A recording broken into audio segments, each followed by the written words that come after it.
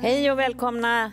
Hon har varit programledare, modell, tidigare artist i A-Teens. Nu kanske en del som har gissat vem jag talar om. Och blev faktiskt tvåa i Let's Dance som är så aktuellt ikväll igen. Eh, och det är förstås Marie Serneholt. Välkommen hit. Tack snälla. Och nu har, kan man lägga till att du debuterar som barnboksförfattare. Nej, men alltså barnboksförfattare Okej. låter Men det är väl en barnbok Ja, som det är ligger en här? barnbok, men det känns nästan som ett hån mot alla andra barnboksförfattare. Jag ser mer det här som ett väldigt roligt bokprojekt. Okej, ett väldigt roligt bokprojekt debuterar du i. Eh, för mig är det en, en bok som vänder sig till barn i alla fall. Och det är inte vilka barn som helst. För de som eh, står förebild för det här är dina egna. Det är det absolut. Det Två är, Mm. väldigt vilda eh, killar, Ja. tvillingar. Absolut. Det är Filip och Nikolas som Ja. Mm. eh, nu är ett och ett halvt år. Så att, ja, de är väldigt vilda. De bjuder på en hel del kaos. Där är en bild där de sitter så där lugnt och Ja, men det där är ju länge sedan. Det där var ju liksom eh, inte igår kan jag säga. Nu är de inte så där stillasittande. Hur gamla är de nu? Ett och ett halvt. Ja, där kommer de. Ja. det är en Det- klassisk morgon. Allting är upp och ner, men du, du behöver bara leva i nuet. Det är bara att hänga med, låter det som. Ja, det, är- jag har inget val. Det Nej. är liksom bara att åka med på den här eh, extremt vilda resan som de bjuder på varje dag. Men du, det här är ju...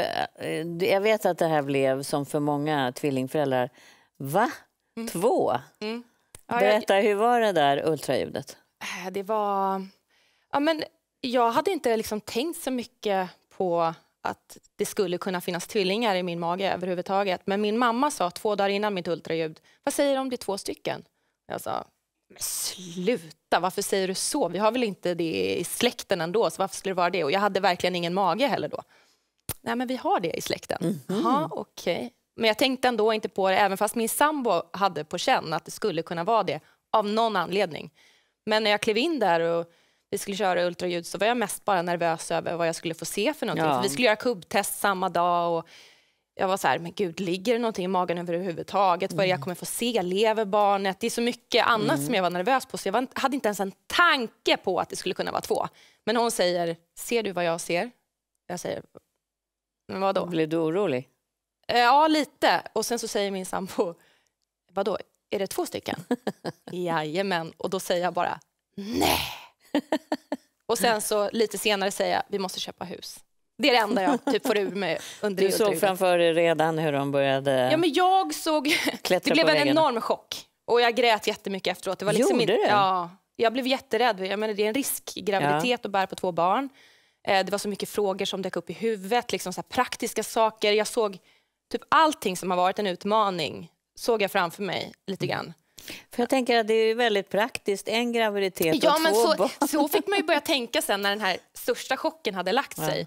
Då var det ju liksom så, ja men vi Det har ju önskat två barn eh, och nu får vi det. Men du, hur blev graviditeten? Var det jobbigt?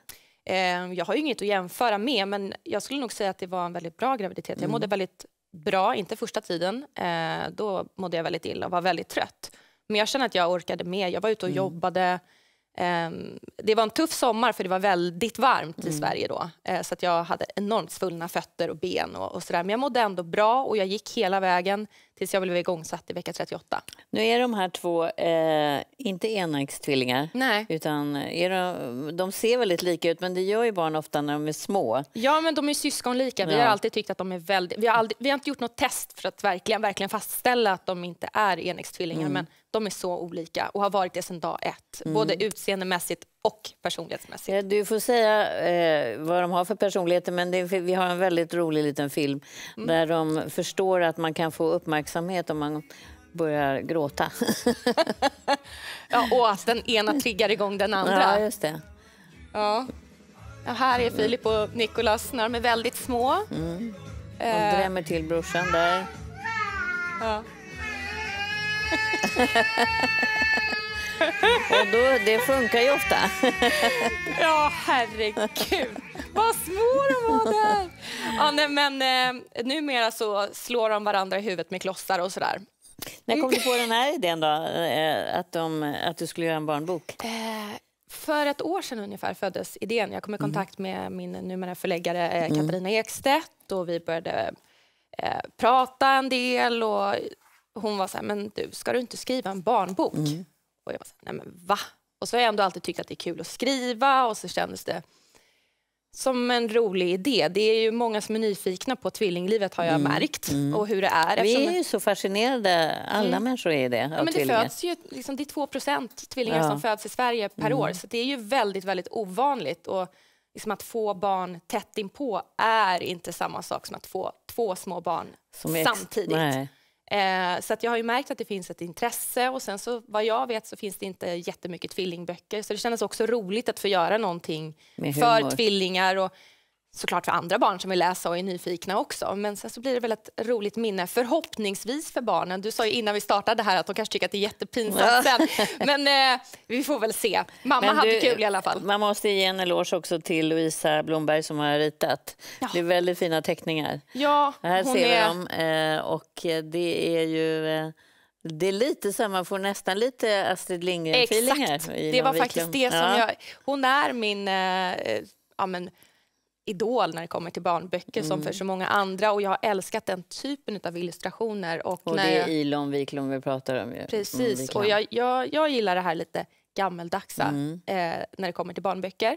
Eh, det är ju en smaksak, men när jag själv skulle leta efter illustratör och ramlade över Lovisa så var hennes illustrationer precis det som jag var ute efter. Mm. Plus att eftersom jag har mina barn som är med i den här boken ändå så kändes det viktigt att ja, men de skulle illustreras på rätt Mm. sätt och att de skulle ändå vara lika. När du skulle komma hit så, det här är ju nutid och Mm. eh, jätteroligt att du gör det. Det kommer beställas från nätet även om vi befinner oss i den här tiden som vi gör nu. Eh, men du har ju ett förflutet som är brokigt minst sagt. Vi plockade fram bilder från Mm. Här. 18s. Ja. Vi måste kolla lite. och då är...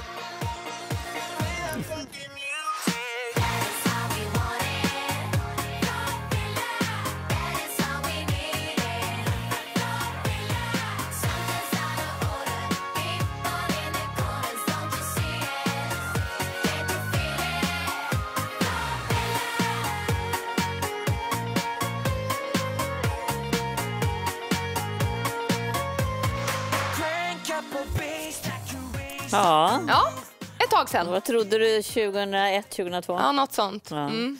Och vem var du där?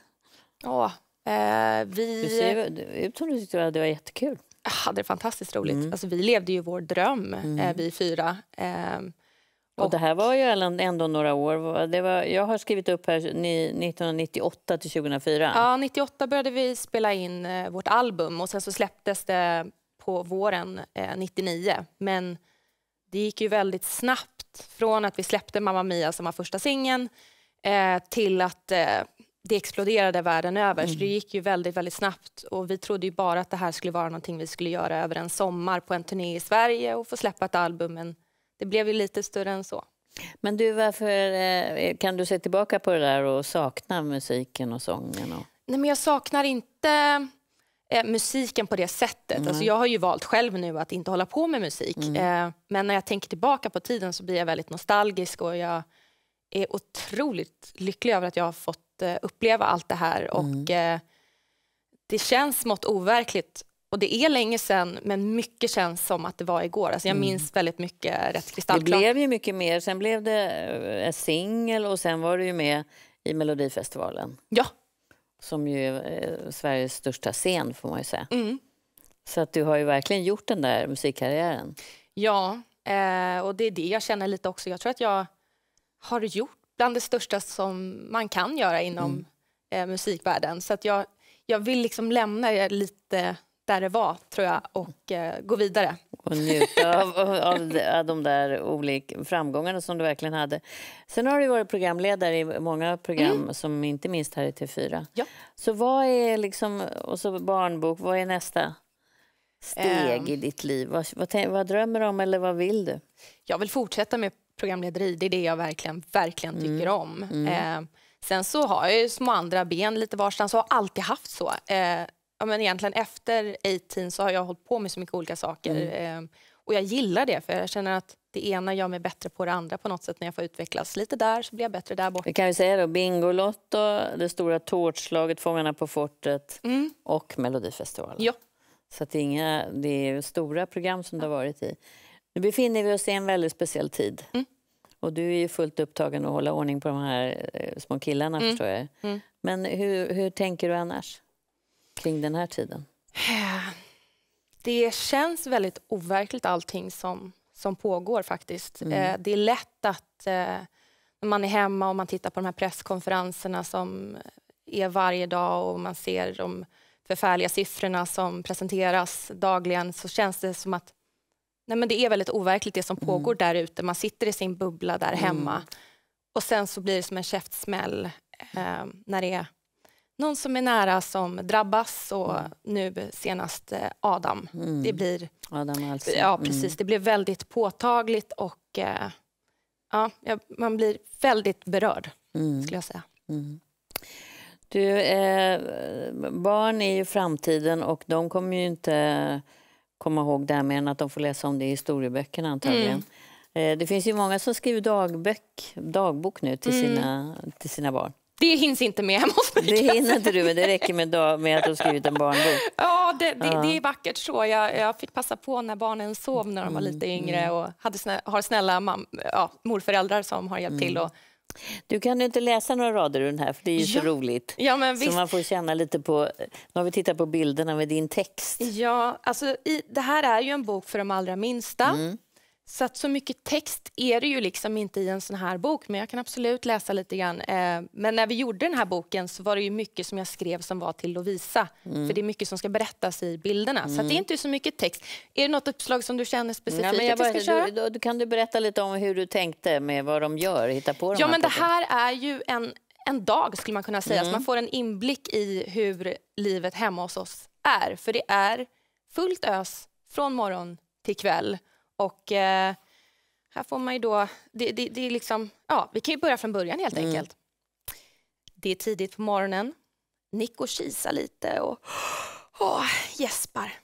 Han är fortfarande trött. Fille har vaknat och är pigg. Han studsar upp, ner, upp, ner. Och så här är det ju liksom här hemma. De är ju nästan aldrig synkade, hur mycket vi, vi än försöker. Så är det ju så att eh, ja, den ena gör si och den andra gör så. Vi fortsätter. Mamma kommer in och kramas. Sen tar hon dem i varsin hand för att gå till badrummet. Och de vill ju gärna gå åt varsitt håll, Mm, alltid. Det är lite att hålla reda på. Dags byta blöja, men Nico vill inte. Han vrider och vänder sig, ålar som en mask. Fille leker med allt han får tag på. Våtservetter, blöjor och salva. Mamma blir alldeles kladdig. Och här, det här är hämtat från eh, verkligheten. Dock så brukar Filip ibland springa med blöja på huvudet men utan någonting annat på sig. Eh, så att det här är ju liksom så som det är hemma hos oss. Eh, och det är mycket att hålla reda på. Den ena vill inte och det, det försiggår någonting där. Någon som, eh, hoppas att inte någon sitter och äter sen frukost här nu, men bajsar ner sig fullständigt och det är bajs på golvet där och man försöker liksom manövrera det- så att den andra inte ska klä, liksom, springa i Sitta det. här hos mig i denna semester nu för dig. Det här är så skönt Malou, kan inte jag bara sitta här Jo, hela dagen? göra det. Ta en kopp kaffe i lugn och ro, sen kommer du hem så till allt det där. Utvilad. Du, det här eh, som händer ikväll, eh, då kanske de har somnat. Ja, förhoppningsvis. Mm. Det är Let's Dance igen som jag har pausat under den här tiden Jajamän. Mm. av corona. Då drar igång igen utan publik. Du var med 2015 och blev nästan etta, tvåa. Ja, jag var ju här hos dig då, Ja. precis när eh, det hade blivit presenterat vilka som skulle vara med. Och jag kommer ihåg att du frågade mig ja, men vad jag hade för målsättning och sådär. Mm. Och min målsättning då var ju att stå i final med eh, Ingmar Stenmark. Och så blev det ju. Och då, så blev det Ja, Mm. verkligen. och det kändes helt okej att förlora mot honom. Är det någon det är okej att förlora mot så är det honom. Vad, hur var den upplevelsen som du minns den? Att vara med där? Det är så speciellt. Så himla roligt. Mm. Eh, det är en väldigt speciell tid. Liksom. Eh, jag gick all in och ägnade mig bara åt dansträning. Då hade jag ju inga barn, så då kunde jag ju göra det Mm. och verkligen fokusera på, på dansen. Så jag tränade mellan två och åtta timmar Man blir var- besatt. Ja, men man blir ju det. Det är, så här, det är ju en tävling och det är direktsändning och eh, det är en möjlighet också att få lära sig någonting och utvecklas och, och sådär. Så att jag tog det på största allvar. Och, Har du eh, någon favorit ikväll? Oh, alltså... Jag tycker att eh, Andreas Lundstedt är väldigt duktig. Jag tycker att de är väldigt häftiga. Men Det det är är, ju- många som är roliga att titta på i år. Det är nytt med två killar också. Det är roligt. Ja, men precis. Du Marie, lycka till med boken. Tack. Och eh, nu får du snart ge dig in i din bub- vilda bubbla igen. Ja, krypa tillbaka, in- tillbaka in i bebiskaoset. Mm. Det är inte det sämsta. Nej, det är Tack fantastiskt. Tack. Eh, ni ska få höra mer om covid-19, sjukdomen orsakad av coronaviruset. Vad är det som gör att unga vuxna utan underliggande sjukdomar dör? Det ska vi prata om med en forskare.